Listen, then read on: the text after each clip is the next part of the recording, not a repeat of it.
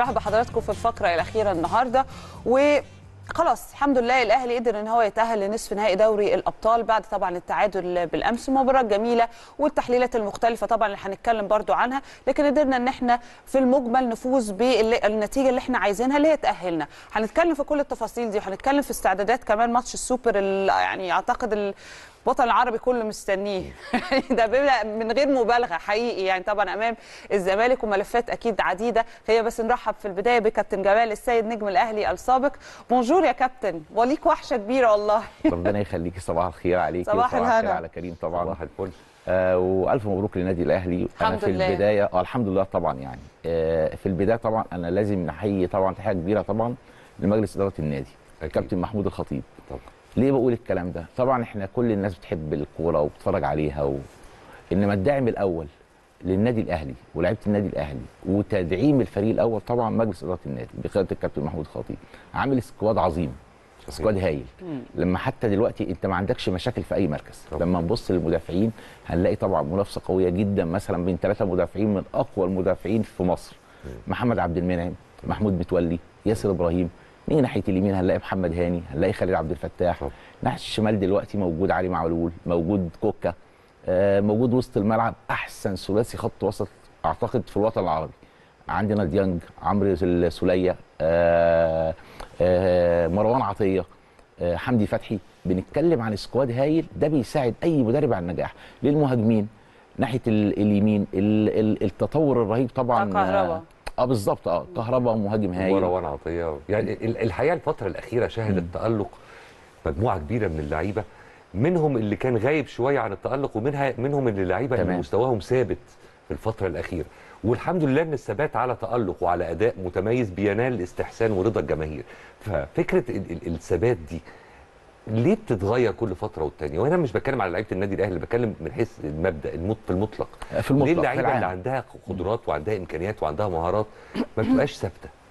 هي دي طبعا الحمد لله. يعني أنا أعتقد في الفترة الأخيرة دي نقدر نقول آه معظم اللعيبة المصريين أو في لعيبة حتى في على مستوى العالم قلما تلاقي لعيب بيعمل آه، مباراة أو بيأدي مباريات بشكل ثابت لفترات طويلة دي بتبقى فيها صعوبة شوية.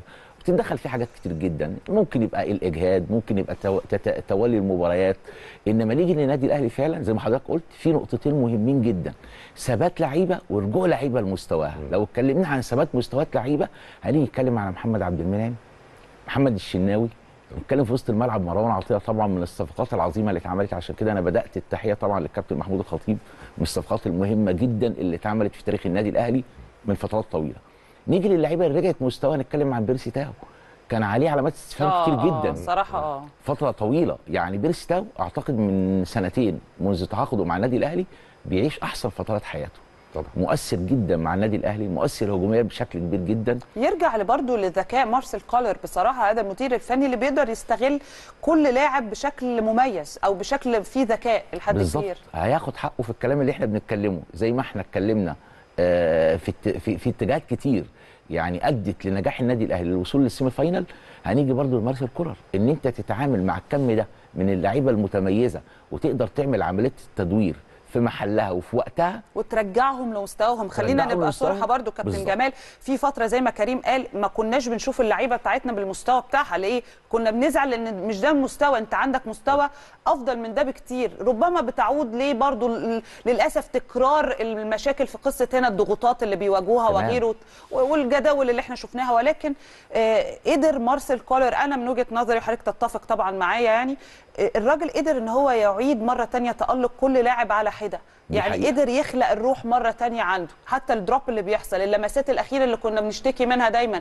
مش هقول انتهت لكن بتقل. ما بتشوفهاش ماتش اتنين ترجع ماتش بعد كده. يعني ده ده ده تطور. تمام. لما نيجي نتكلم عن مارسيل كولر في النقاط اللي حضرتك اتكلمت فيها نقاط مهمة جدا. ودي برضو نجاح ليه النجاح ليه إن أنا إزاي أقود ال squad ده أو كم اللعيبة المتميز وإزاي أعمل عمليه تدوير. وفي مباريات بتحتاج توليفة مهمة على قد المباراة اللي أنا عايز منها إيه.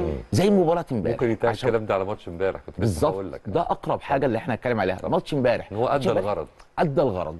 ووصل للمباراة بر الأمان زي ما أنا عايز. تكتيك دفاعي هايل. جوانب دفاعية كويسة جدا. معمولة جبهات كانت من ناحية اليمين أو من ناحية الشمال. ممكن نتكلم عليها بالتفاصيل بس نتكلم الأول جنرال عن مارسيل كولر كولر في الوقت ده امبارح عمل تغيير مهمه جدا.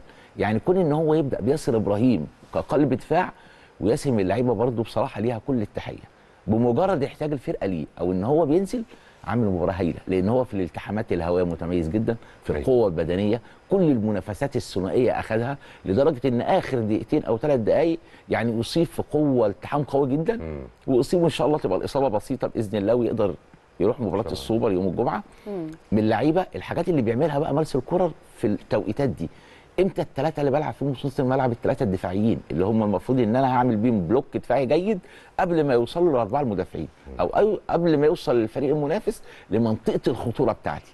إزاي أكسر الهجمات بتاعته؟ كان عاملها امبارح ساتر دفاعي هايل طبعا. من مروان عطية وديانج وحمدي فتحي. والتوز... والتوزيعه بتاعتهم إزاي؟ يعني أنا مش حاططهم بدون أي وظايف لأ كل واحد عارف هو بيعمل إيه. أليو ديانج أنا قافل الجنب اليمين مع محمد هاني وبيرسي تاو. حمدي فتحي قافل الجنب الشمال مع علي معلول مع حسين الشحات. جبهة دفاعية معروفة. لو الكرة من نص الملعب تحس إن هما الاثنين بيقفلوا القلب بيشتغلوا مع مروان عطية. على ذكر أليو ديانج طالوا الكلام اللي اتقال في فترات سابقة على بيرسي تاو فكرة التذبذب في المستوى. وأليو ديانج الحقيقة ظاهرة تستحق التأمل. بس أنا مش هتكلم عن شخص وقد ما عايز أتكلم مع حضرتك عن المبدأ نفسه فكرة إن اللعيب يبقى فايق من عدمه. وأكيد كلمة فايق دي بتفرق كتير. وبتشوف لها انعكاسات طيبة كتير في ماتشات كتير. يعني حد زي اليو ديانج مثلا الماتش اللي بينزل فيه فايق بيبقى مرعب. تمام. وفي ماتشات تانية ما بيبقاش بنفس القدر من الفوقان فتعالى نقف عند ظاهرة الفوقان. هو إيه اللي يخلي لعيب ينزل في ماتش فايق وفي ماتش تاني مش قد كده؟ هي بتفرق كتير. أوقات في اللعيبة كتير اللي عندهم squad ماتشات أو زي ما قالت نهاوند الجزئية بتاعت تتالي المباريات ومباريات كتير دي أوقات بتفرق كتير. بتفرق كتير في جزئية ممكن عملية ال ال الإجهاد اللي بتصيب اللعيبة أو الملل الروتيني إن أنا دايما بلعب مباريات ودايما بس النادي الأهلي تجديد الحوافز دايما للعيبة وقيمة النادي الأهلي في في في, في البطولات والمباريات دي بتفوق اللعيبة بسرعة. تحسسهم إن هم بيخرجوا من البطوله يركزوا في بطولة ثانية دي ممكن كانت بتعمل شيء من التذبذب في مستوى اليو ديانج. بس اليو ديانج لو بصينا على ال على ال على ال على المستوى ال على ال على المدى الطويل الاستدامة يعني. آه الاستدامة آه، بالظبط. لا، طبعاً، الاستدامة طبعاً. هتلاقي لا الإجادة بالنسبة له فترات طويلة قوي. ولو إنه في أوقات يعني في أوقات كتير جدا كنا بنحتاج اتنين في نص الملعب كان ممكن يلعب عمرو السولية ويلعب مثلا حمدي فتحي أو عمرو السولية ودلوقتي مروان عطية بقى خلاص من اللعيبة الأساسيين. لا غنى آه لا غنى عنه. طبعاً. مع طبعا تتلي المباريات. عامل شغل حلو الحقيقة. عامل شغل. هايل. عنده ثبات رهيب. هو ولد تحس إن هو عنده توازن نفسي كبير قوي. تركيزه في الملعب عالي قوي. هو دخل في منظومة النادي الأهلي بسرعة وبناء عليه أصبح من النجوم الأساسية في النادي الأهلي المؤثرة حتى في مؤشر الأداء. لو مؤشر الأداء على فترات حتى امبارح كان في كورة أو كورتين الناس مش متعودين من مروان عطيه ان تتقطع منه. ولكن لا أنا طبعا أنا بك- ب- ب- ب- ب- ب- باخد بقيمه package 90 دقيقة. طبعا مش طبعاً. في لعبة أو اتنين. طبعا. إنما الناس عشان هم شايفين مروان عطية دايما متفوق ومتميز فكان تحس إن عدم القبول في إن أنا مش عايزه يتقطع منه كورة مش عايز miss pass. كل التحاماته عايز أخدها. لا في أوقات طبعا بتحصل يعني آه، هفوة أو أو حاجة مش مؤثرة. وارد. ولكن هو من اللعيبة اللي عندهم ثبات في المستوى يعتبر هو واليو ديانج حلو جدا. طب امبارح كده كام حاجة عايزين نتكلم عنها برضو. منها أنا وكريم اتكلمنا على النقطة دي بس سريعا. آه، التحكيم.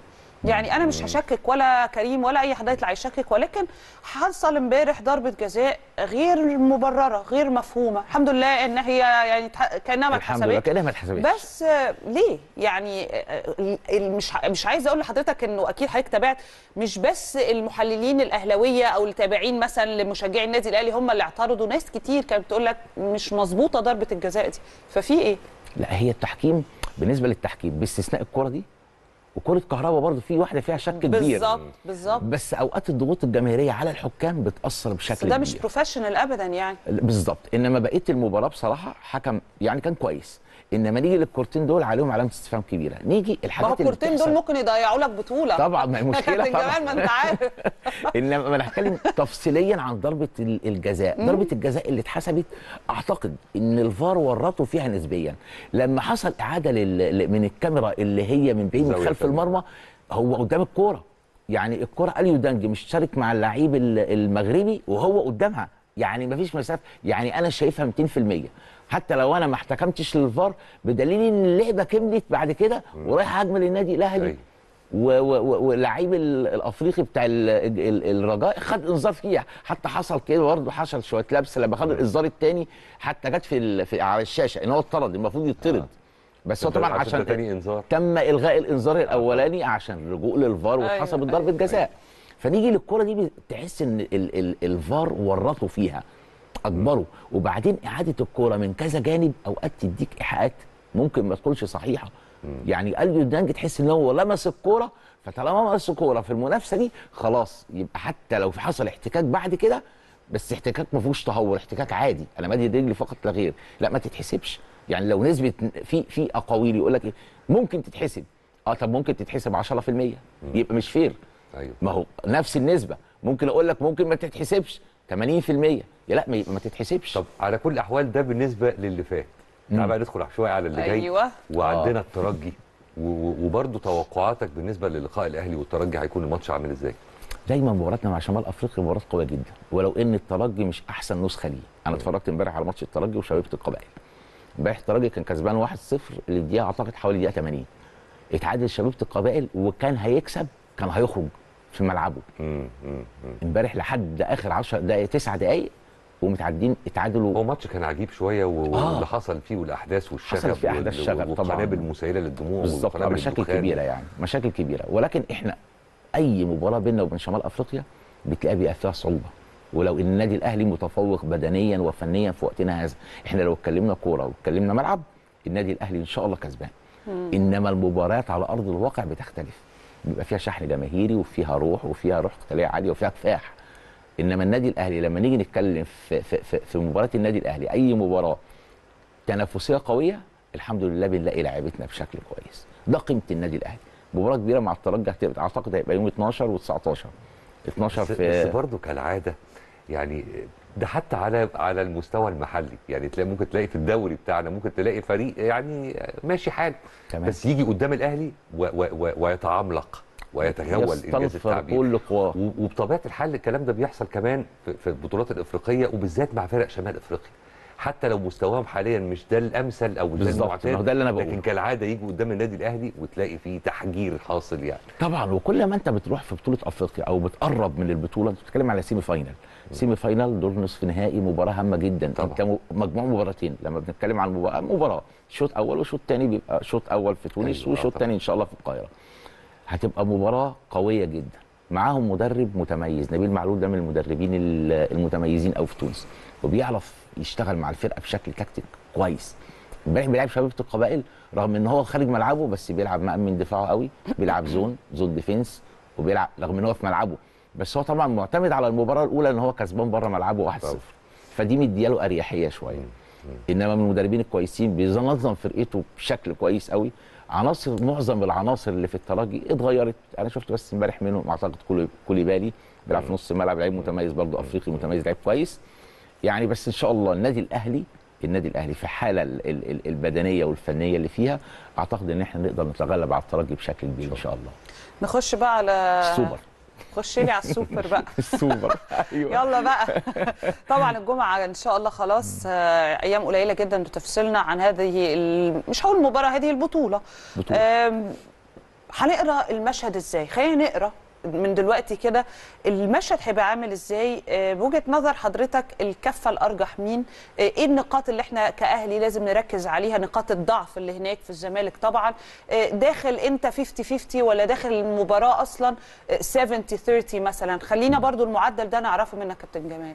لا المعدل في الكورة ولو إن النادي الأهلي دلوقتي زي ما قلت على الترجي النادي الأهلي متفوق بدنيا وفنيا ونفسيا مم. ومعنويا كتير. على نادي. الزمالك مم. ولكن المباراه دايما إحنا من زمان قوي مباراة أهلي وزمالك ما لا تخضع لمقاييس لأن فيها حالة اللعيبة في الملعب هي اللي بتفرق بشكل كبير. صحيح صحيح النادي الأهلي طبعا الحمد لله عايشين نشوة الانتصار وكسبنا امبارح وال semi-final ولكن أعتقد من النهارده خلاص. آه خلاص الموضوع انتهى هم بيفكروا دلوقتي في مباراة السوبر النادي الأهلي بال squad ال- ال- اللي موجود في النادي الأهلي إن شاء الله نتفوق في المباراة دي بشكل كبير نسأل ربنا بس التوفيق عندنا لعيبة كتيرة جدا نقدر نعمل عملية التدوير بشكل كتير زي اللعيبة اللي أنا ذكرتها دلوقتي في ال- المدافعين آه، back right آه، back left آه، نص ملعب مهاجمين بشكل كويس عندنا لسه تحت ال ال ال ال ال إن نقدر نستفيد بيهم يعني على أرض الواقع في أحمد عبد القادر وفي. وفي طاهر محمد طاهر امبارح برضو تحس إن مارسيل كولر قال لهم لا يعني. بلمس اتفضلوا انزلوا. ده 10 دقائق ده خمس دقائق لا أنتوا موجودين. أنا ممكن أستفيد بيكم يوم الجمعة. صح. آه أحمد نبيل كوكا آه، امبارح آه مع طاهر محمد طاهر ناحية اليمين.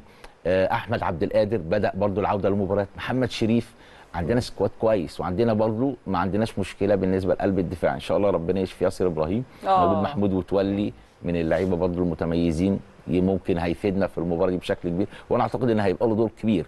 محمد هاني وخالد عبد الفتاح. خالد عبد الفتاح ممكن يلعب. امبارح برضو نزله بدل محمد هاني. ممكن يكون سبع دقائق أو 10 دقائق يعني أنا بجهزك للي جاي. أنت موجود. اللعيب لما بيحس إن هو قريب في الحالات دي ببقى ما ببقاش بعيد عن المباريات. صح. لا وبيدي أقصى ما عنده. بالظبط. أنا موجود. الأول ما بلاقي الفرصة بمسك فيها بشكل كويس. على كل الأحوال. إحنا كلامنا مع حضرتك أكيد لم ينتهي بعد. إحنا بس بنستأذنك نطلع فاصل سريع ونرجع نكمل الكلام. اتفضل.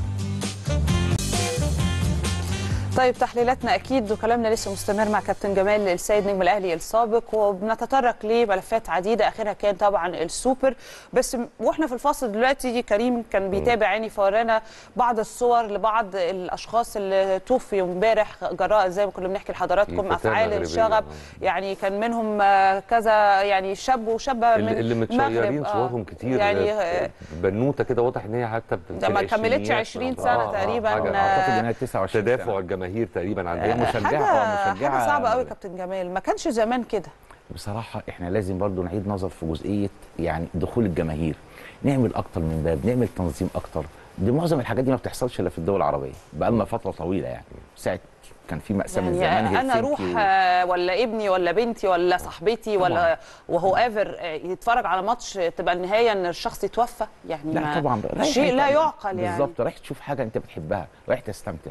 ما ينفعش طبعا تؤدي لوفاة حد أو أو أو توصل لأمور كده أو صعبة حتى جداً إصابة يعني. خ- خالص لكن طبعا التدافع آه يعني آه طبعا لأهالينا كل في المغرب أهالينا. طبعا عن فقدان هذه الشابة رحمة الله وغيرها. كمان للأسف ربنا يتولى برحمته ويا رب إن شاء الله الحاجات دي ما تتكررش تاني في الدول العربية يبقى في تنظيم يعني أكثر. تنظيما وأكثر حرصا إن إن منع التدافع طبعا لأن هي دي اللي بتعمل مشاكل كتير. صحيح. كنا بنتكلم برضو عن بعض ال- الأمور وفي المباراة بالأمس وبعض التحليلات طبعا بتكون يعني لاحقة لأي مباراة. بعض الآراء اللي اختلفت ويمكن برضو ناس امبارح وتعليق حضرتك على النقطة دي قال لك امبارح ما كانش مفروض كولر يبدأ بكهرباء. من وجهة نظر حضرتك هل فعلا كان المفروض ما يبدأش بكهرباء ولا كان المفروض يبدأ بشريف ولا الأفضل اللي هو المدير الفني بيشوف الاصلح للفريق؟ لا طبعا كان في أقاويل يقال إن الأفضل أو the best- في المباراة دي يبدأ محمد شريف. هم تصورهم إن دايما النادي الأهلي في فترات طويلة هيبقى مضغوط في المباراة. محمد شريف عنده سرعاته أعلى من كهربا شوية فممكن يستغل الهجمات المرتدة. ولكن طبعا أنا كنت شايف حتى الناس لما كانوا بيتكلموا معايا قاعد بتفرج مع مجموعة من أصدقائي قلت لهم لا أنا شايف إن كولر ثبات التشكيل أوقات مهمة قوي ولو كنت على يقين إن هو عامل سيناريو تاني للمباراة أو إن هو في الجزء الثاني أو جزء معين من الشوط الثاني وقد كان إن هو يشرك محمد شريف. ممكن يكون كهربا است يعني آه، أدى إن هو يتعب ال- المدافعين المغاربة ويستهلكهم بدنيا بدنيا ودي كانت وجهة نظر مستر كولر ماسكه كمان. بالظبط. وينزل وينزل محمد شريف يقدر إن هو يتفوق عليهم في كورة أو اتنين. ولكن طبعا هو. اختيار المدير الفني أكيد مبني على فكر ورؤية وخطة معينة. في دماغه. بالظبط. لكن بالنسبة للنوع ده من الآراء يعني الناس زي ما كانت نهاوند بتقول لحضرتك من شوية في كذا حد قال لك إيه مش صح إنه كان يبتدي بكذا. تأكد إنه لو كان عمل اللي هم قالوه كنت هتلاقي ناس تانية مجموعة تانية؟ يستغلطوه يقول لك على النقيض. بالظبط. فالناس ده- دي ده ترضيها إزاي. يعني فاهم قصدي؟ لا مش هترضي مش الناس عاجبهم ما- العجب ما- في كل ما- ما. تشغلش بالك. لا دي مستحيل طبعا هي مستحيل طبعا زحمات لو نزل دي بدري. يقول لك بدر ليه؟ بالظبط. اتأخر اتأخر ليه؟ اتأخر هو كده المدرب دايما أو المحللين السادة المحللين الكسر في مصر الكتير قوي اللي كتروا يعني أقصد. طبعا. طبعا كل واحد ليه إن هو لا أنا شايف من وجهة نظري إن هو يلاعب كهربا. لا ما يلاعب محمد شريف لا يلاعب ياسر إبراهيم طبعا. لا يلاعب محمود متولي لا ولكن المدرب أكتر واحد بيبقى حاسس بفرقته وعارف. وقاري لعيبته والفريق اللي بالظبط. مذاكر أكتر يعني ما مذاكر كلمة مذاكر دي مهمة قوي مهمة قوي ليه لأن أنا لو ذاكرت الفرقة اللي قدامي كويس قوي بعمل كذا سيناريو للمباراة وأنا شغال كل شوط ليه ممكن يبقى حاجة في دماغي حاجة معينة أعملها. بالظبط. سيناريو تاني أبدأ أغير يعني. النوع ده من تعليقات الجماهير معناه إن الجماهير بتذاكر أكتر من المدراء الفنيين ولا في نسبة فتاين فيهم كبيرة؟ لا طبعا ما فيش شك نسبة فتاين كبيرة قوي كتير جدا طبعا ما فيش شك يعني. لأن هو مش هيرضي. إحنا ما شاء الله يعني إحنا لو جينا اتكلمنا هنتكلم إن هو أهلاوية. يعني إحنا بنتكلم عن 80 مليون أهلاوي مثلا. فكل يعني كل واحد ليه وجهة نظره طبعا. قد يتفق وقد وما يتفقش معاه يعني أيوة. يبقى في اتجاه تاني مغاير ولكن طبعا المدرب بمجرد إن هو أجاد وخد النتيجة اللي هو عايزها ونجح فبتلاقي خلاص كل الناس ماشية في الصف معاه حلو جدا إنما لو لا قدر الله حصلت نتيجة عكسية أو نتيجة طبعا. غير اللي يأملها. الجمهور هتلاقي بقى قصة الفتاين دول يطلعوا أكتر. بنسبة أكتر يعني طيب كابتن جمال عايزة أروح أنا وكريم برضو مع حضرتك لنقطة يعني إحنا خلينا نتكلم بمنتهى الصراحه إحنا مش قلقانين على الأهلي في إن شاء الله البطولة جاية مش هقول المباراة هي بطولة. إن شاء الله. آه الأهلي معودنا واللعيبة معودانا إن هي لما بتبقى تحت ضغط أكبر هي بتتألق. مم. يعني في مباريات بتبقى سهلة بنفضل قاعدين كده. وفي مباريات صعبة الواحد بينبهر وما شاء الله من الدقايق الأولى أنت بتحسم المباراة. فإحنا مش قلقانين على اللعيبة ابدا. الشق اللي أنا بقى عايزة أروح مع حضرتك فيه أنا وكريم إيه الأوراق الرابحة؟ يعني فكرة الاستعداد وروح الأهلي واللعب الجماعي والتكتيك اللي هيكون أكثر من جيد ده ما عندناش قلق. بس فكرة النقطة اللي أنا بتكلم مع حضرتك فيها بقى هي هي الشق ده. بتشوف إزاي الأوراق الرابحة؟ إزاي إن أنا ممكن أركز على مشاكل في الفريق المنافس؟ ابتدي إن أنا أستغلها بمعنى أصح. يعني والاستغلال في اللعبه مش غلط. لا طبعا ده حق مشروع. آه. النادي الأهلي في المباراة دي هيعتمد نمرة واحد على الروح القتالية العالية وإحنا الحمد لله متميزين فيها قوي الروح القتالية العالية دي بتروح لإيه؟ أو معناها إيه؟ أو معناها الحرفي الروح القتالية العالية إن أنا أكسب جميع المنافسات الثنائية في المباراة. إن كان هنتكلم مثلا على الجنب اللي فيه بيرسي تاو مثلا وفي أحمد فتوح. نادي الزمالك بيرسي تاو بيتميز بالسرعة وعنده المهارة إن هو يقدر يعدي أي لعيب في الجزئيات اللي فيها واحد لواحد. دي ورقة رابحة للنادي الأهلي جدا. رغم الانتقادات اللي خدها عشان صغر حجم جسمه يعني وكده طب ما عندك يعني. معظم اللعيبة على فكرة يعني بغض النظر عن آه، هالاند. آه، هو في هالاند. هالاند. هو في زي ميسي مثلا استثناء لكن فعلا ميسي وغيره الجسم اللي هو بيبقى لا هالاند ده حالة خاصة دلوقتي لا، لأن هالاند مش هالاند بني آدم. آه. يعني هي بتتكلم في إطار ال- ال- صراحة الجنس يعني اللي أطلق عليه وحش ده وضع الكون تاني وحش. الكون حلو. ده وحش الكون آه، يعني. مش هو ده مش طبيعي. يعني. ما شاء الله. ربنا. قوه لا لا لا قوة بدنية غير غير عادية. يعني لعيب ودي طبعا يعني مش عايز بقى أتكلم عن تكتيك دي جوارديولا وغير فكره تاني ولعب براس حربة ثابت من قبل كان قبل كده بيلعب براس حربة وهمي. لا ده الموضوع بقى كبير عشان ما نروحلوش كتير. آه. آه إنما نيجي نتكلم عن جزئية بتاعه الأوراق الرابحة. نيجي للجزئية دي. وأعتقد إن حسين الشحات وأحمد عبد القادر هيبقى في واحد منهم ليه دور مهم جدا برضه في الجزئية ناحية اليمين الجانب الأيمن اللي هو ال- الجانب الأيسر للنادي الأهلي مع علي معلول. علي معلول عايش أحسن فترات في النادي الأهلي. من أكتر اللعيبة بتعمل النضج. عامل كمية اسيست مش طبيعية أو عدد من الاسيستات للعيبة. مش طبيعية لدرجة إن هم أعتقد إن هو كل الأهداف اللي جابها محمد عبد المنعم كلها من رجل من علي معلول صناعة. من صناعة علي معلول. فعلي معلول من اللعيبة المهمة قوي المفاتيح المهمة للنادي الأهلي نيجي بقى للجزئية الأهم برضو نص الملعب وتفوق نص الملعب بتاع النادي الأهلي بالظبط هيبقى فيه غالبا مروان عطية وفي أليو دانج وفي حمدي فتحي أعتقد إن هم مش هيتغيروا أعتقد يعني. ممكن يبدأ بيهم نفس الثلاثي لأن هم أجادوا بشكل كبير قوي. ممكن يبقى في جزء من الوقت دور لمجدي قفشة في وقت إن هو يبقى محتاج playmaker في جزء معين من المباراة بس مش هتبقى من بداية المباراة. okay. التفوق الدفاعي للنادي الأهلي المتمثل في محمد عبد المنعم وغالبا هيبقى محمود متولي لأن أنا شايف إن ياسر إبراهيم اللي شفته إمبارح طبعا ربنا يشفيه ويعافيه ويرجع بالسلامة بس. أعتقد إن هو صعب يحصل المباراة. ولو ده أحسن أو ده لمصلحته ما فيش مشكلة. ما فيش أي مش- مشكلة آه، بالظبط. ما ده ال squad بقى اللي اللاعب يعني. اللي بتكلم فيه في النادي. لما تشيل لعيب وتحط لعيب ما اختلفش الأداء وما اختلفتش المنظومة داخل الملعب ومش هيختلف الاستراتيجية بتاعت المدرب. إن كانت استراتيجية دفاعية بالدرجة الأكبر زي مباراة امبارح وغير لما تبقى الاستراتيجية الهجومية في مباراة زي اللي جاية بدي وظايف للعيبة أكتر هجوميا ممكن تكون نفس اللعيبة من غير ما أغير من آه بره. طبعا طبعا. بس أنا هبديهم وظايف هجوميه تانية صحيح. تزود الجزء الهجومي بالنسبة لي. أعتقد إن دي أوراق رابحة كتير للنادي الأهلي. محمد شريف هيبقى له دور كبير. ولو إن أنا شايف برضو إن هو هيبدأ بمحمود كهربا. لأن كهربا موفق في الفترة دي قوي. برغم. الضغط اللي هو واقع تحتيه بقاله فترة طويلة والجدل الكبير اللي كهرباء حصل. الكلام ده ما بيفرقش بيرد. على الأرض. كهرباء من الناس اللي بترد على الأرض فعلا. خالص. كهرباء طبعا يعني أحد أبنائي وأنا مرنته وكان عنده 12 سنة. في فترة من فترات النادي الأهلي في مدرسة الكورة يعني. ما يفرقش مع الكلام ده هو شخصيته كده. شخصيته إن هو يقدر أول ما بينزل الملعب هو خلاص فاصل أنا بلعب بس. بلعب كورة. مش هقول لأ ده أنا بأدي عملي لأ أنا آه، بلعب. كورة. صحيح. هو بيلعب بيستمتع وبيأدي وعشان كده ربنا بيوفقه بشكل كبير. كل التوفيق إن شاء الله للنادي الأهلي كده كده حديثنا أكيد مع حضراتكم مستمر يعني على قناة النادي الأهلي مش بس في 10 الصبح في الأهلي على مدار يعني اليوم كامل نورتنا كابتن جمال حقيقي وكل التوفيق إن شاء الله وح- ولو فزنا بقى هنكلم حضرتك إن وشك بيكون حلو معانا قبل أي مباراة. كابتن جمال لما بيكون معانا بنفوز فيعني إن شاء الله إن شاء خير الله. نورتنا. يا كابتن وإن شاء الله نشوفك على. خير ويبقى لقائنا اللي جاي نتكلم فيه بقى عن تفاصيل فوزنا إن شاء الله في شاء الماتشات اللي جاية شاء نورتنا. بنشكرك على وجودك معانا متشكر جدا طيب إحنا وقتنا مع حضراتكم للأسف الشديد انتهى بس إن شاء الله بكرة بإذن الرحمن يتجدد اللقاء وحلقة جديدة و10 الصبح في الأهلي. صباح الفل عليكم.